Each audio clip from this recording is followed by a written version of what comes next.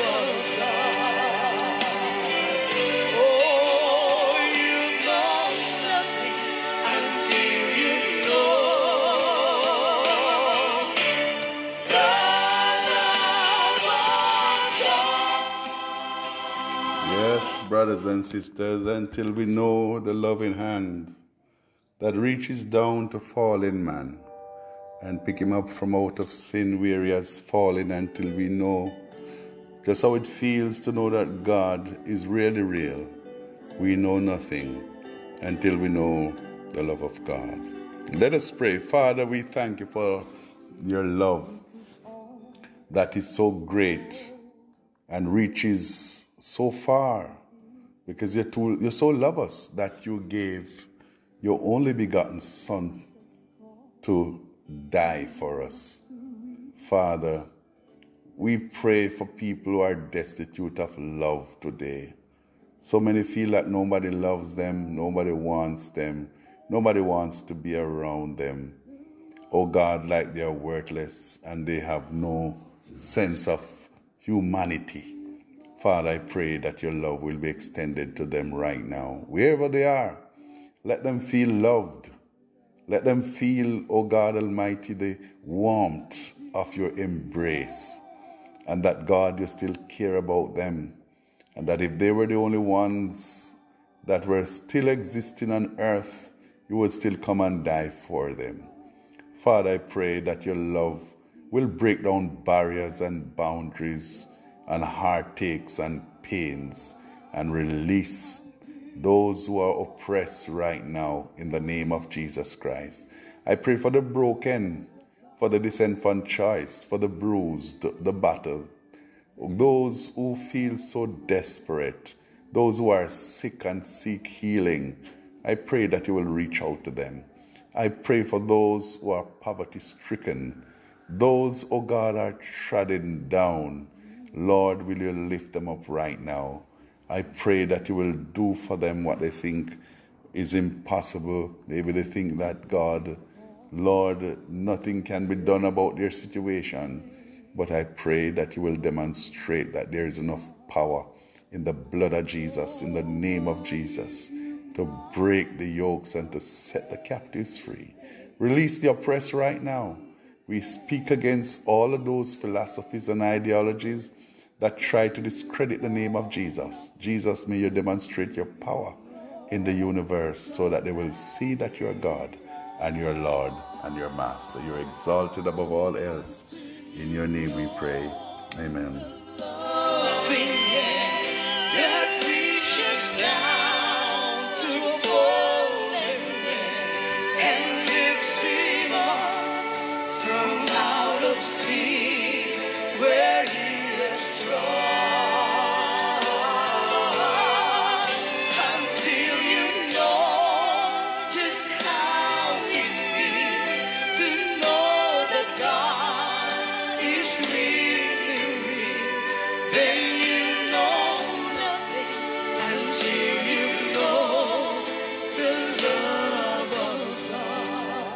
Hallelujah.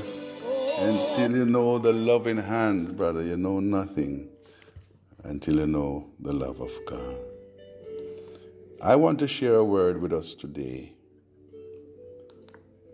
And I trust that this word will bring inspiration and healing to your situation right now. I want you to turn your Bibles with me to the book of Ephesians, chapter 3. That's that is Ephesians chapter 3, and we'll read verse 14 to 21. 14 to 21.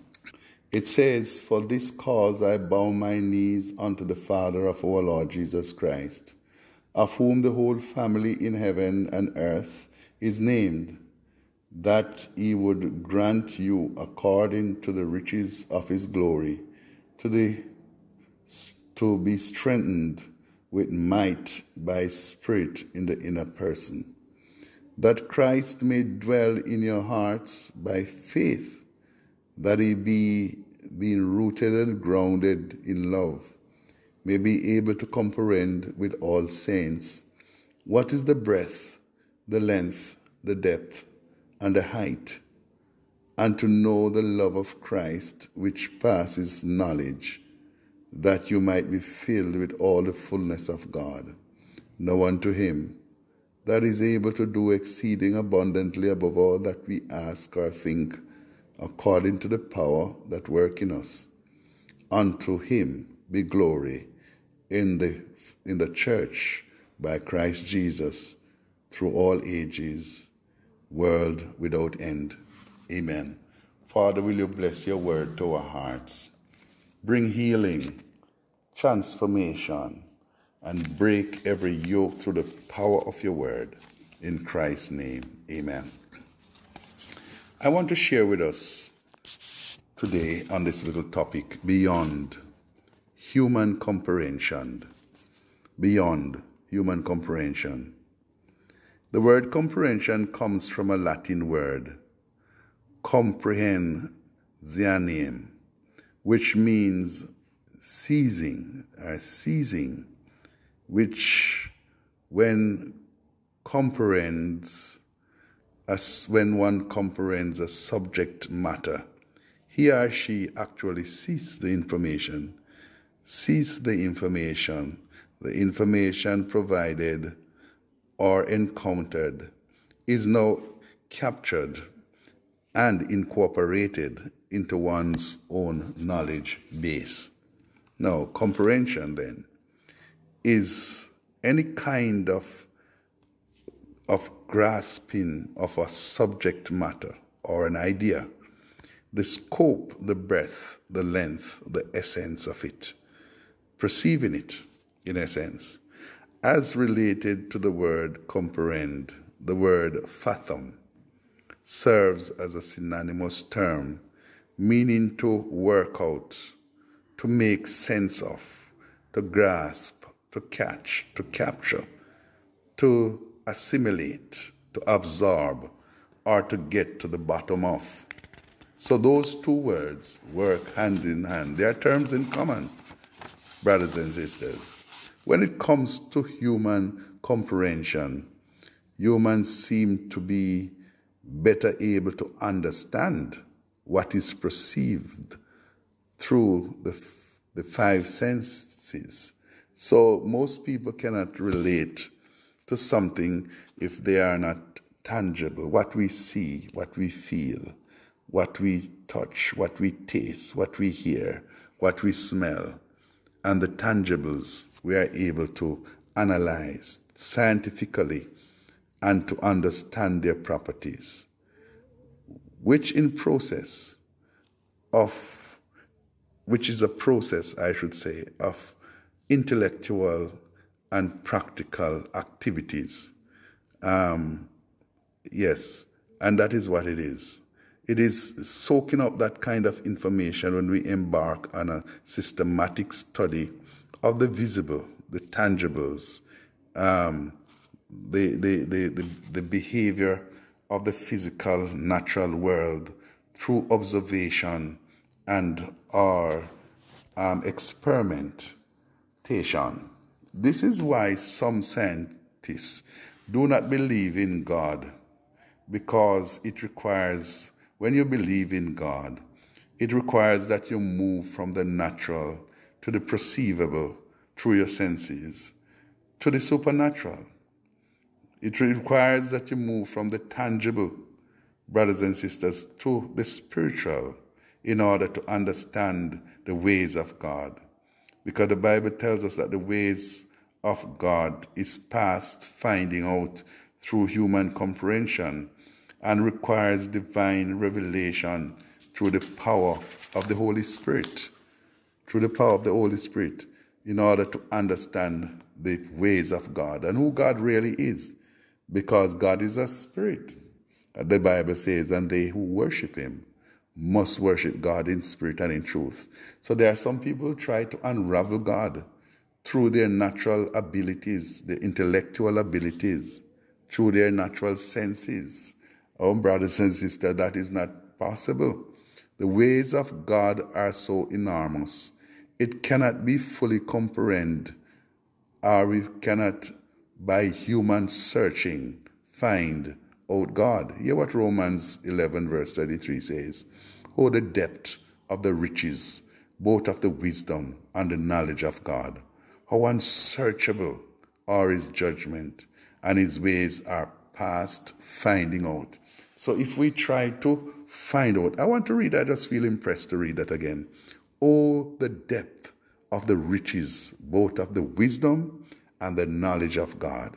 How unsearchable are his judgment and his ways are past finding out. So there are a lot of human beings who, through their small intellect, try to unravel God and the ways of God. You cannot because your mind is like a, a nutshell or a shell in the middle of the ocean. Once the shell is filled with water, it can hold no more in terms of the sea.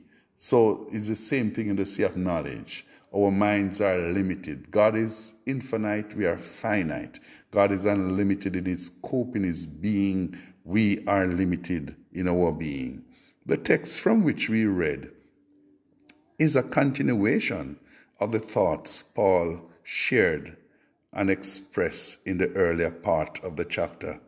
In verse 2 and to 6 of the same passage in Romans chapter uh, 3, Paul is writing, saying, If we have heard of the dispensation of grace of God, which is given me to you, ward, how that by revelation he made known unto me the mystery as I wrote before in few words, whereby when he read, he may understand my knowledge in the mystery of Christ, which in other ages was not made known unto the sons of, of men, as it is now revealed unto his only unto his holy apostles and prophets by the Spirit, that the Gentiles should be fellow heirs of the same body and partakers of his promise in Christ by the gospel. Paul is actually saying that the knowledge we now are able to attain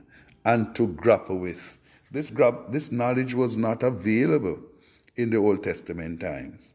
So it is the Holy Spirit who now is reveal to us, brothers and sisters, that we can now learn more of God through this dispensation because there is a connection between our spirit, the Holy Spirit, and God.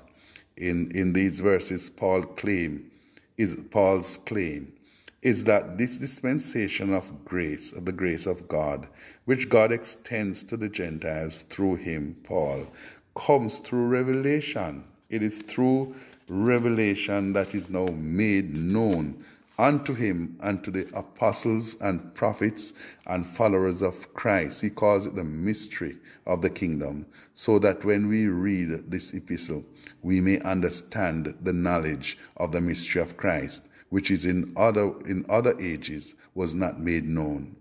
Brothers and sisters, it was not made known unto humankind, as it is now revealed by the Holy Spirit.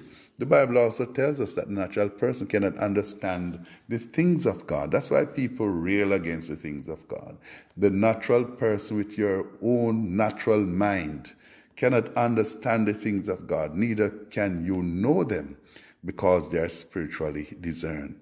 In verse in verse 14 and 15, brothers and sisters, it is for this cause, Paul says, we bow, we bow our knees unto the Father of our Lord Jesus Christ, by whom the whole family of the earth is, is named for the, for the following reasons. He, he says that he bow his knees and prays that the followers of Christ will, will now come into an understanding of this revelation to which he makes reference. Brothers and sisters, in verse 16, part A, one, that God would bless us according to the riches of his glory. Hmm? So let us look at verse 19, and then we just come back and pinpoint some of the things. Verse 19 to 16 to 19, Paul is saying um, in the text, he says, and that he might re- reconcile both unto God in one body by the cross, having, uh, having slain the enemy thereof. Brothers and sisters, I think we are reading the, the wrong um, verse. Let us get back over.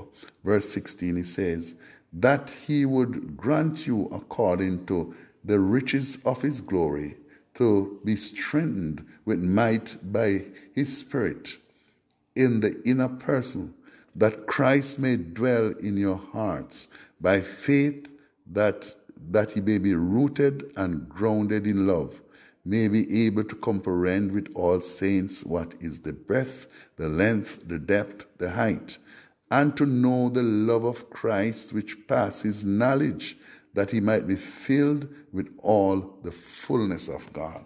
So Paul says he bows his knees, he prays that people's understanding will be clarified as it is related to God and who God is. There are a lot of people railing on God, railing on Jesus, railing on Christian, railing on the church.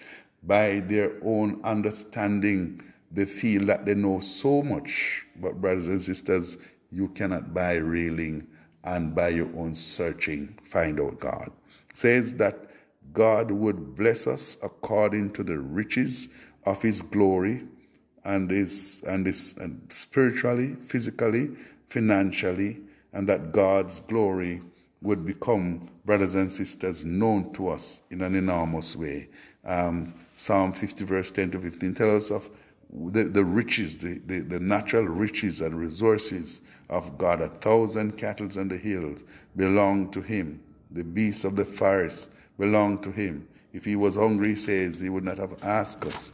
So the Bible wants us to understand that the Lord, his riches is inexhaustible. Verse 16, that the readers may be strengthened with might by spirit on the inner person. Yes, that's one thing. That Christ may dwell in our hearts by faith. Verse 17. Verse 17b, that they may be rooted and grounded in love. Verse 18 to to 19, that they may be able to comprehend with all saints what is the breadth, the length, the depth, the height, and to know the love of Christ, which passes knowledge, eh? and be filled with all the fullness of God. Now, if the love of Christ is pa- passes knowledge, that means, brothers and sisters, we cannot comprehend why God would love us the way He does, and that we might be filled with all the fullness of God.